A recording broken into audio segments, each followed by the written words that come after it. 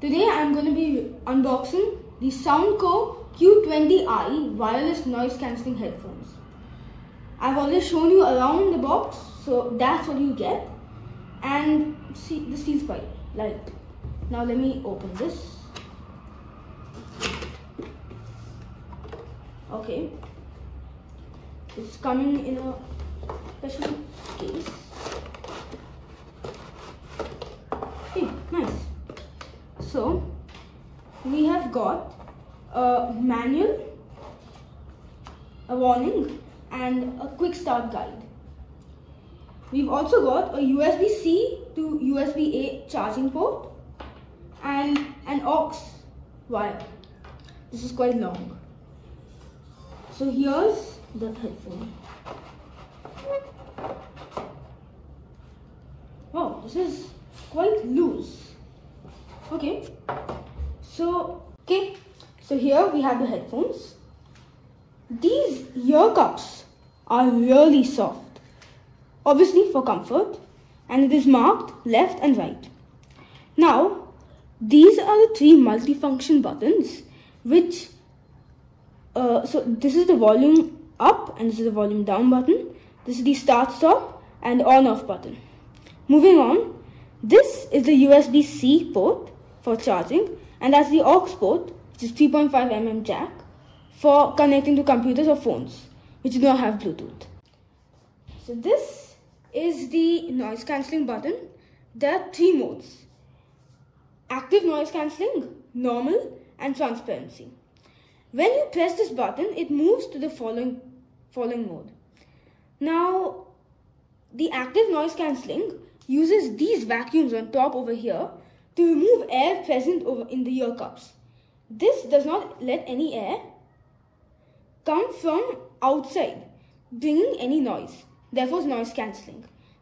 And transparency mode is something new in Soundcore, where you can hear everything outside the same way as if you're not wearing the headphones at all. The bass up is a mode in the headphone which you can get when you press this twice in maybe one second. The bass up technology can be initiated by pressing this button twice. The bass up technology customizes the hard hitting beats when you're listening to music you can customize these uh, beats on app and I will show that later in the video.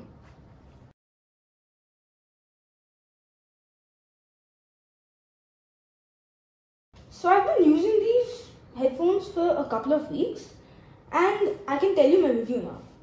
The noise cancelling is fairly good at blocking out external noise and the transparency mode was excellent at letting at letting me be aware of my surroundings as well as listening to music at the same time.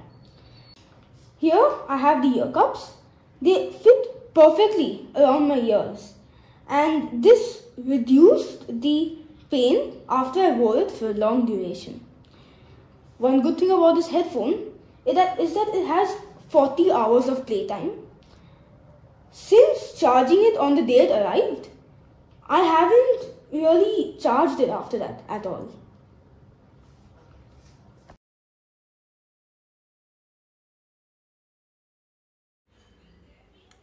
I open the Soundcore app and there I connect the headphones to the phone. Once it's connected, I select it and then this dashboard comes with the ambient sound. There's noise cancellation, normal and transparency mode. The sound effects are default and custom. Selecting custom, there there's a custom EQ which I can customize as shown in the video.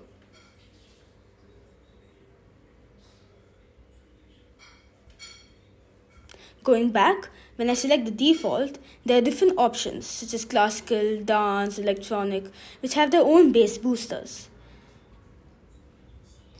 If you enjoyed this video, do press the like button and subscribe.